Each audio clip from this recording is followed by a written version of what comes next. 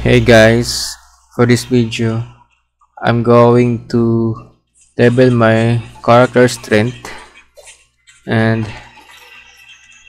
just grab any crate then and just run. And let's see what happened. Wait wait wait. Just run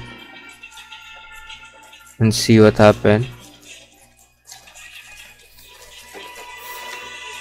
Run. Oh that's that's it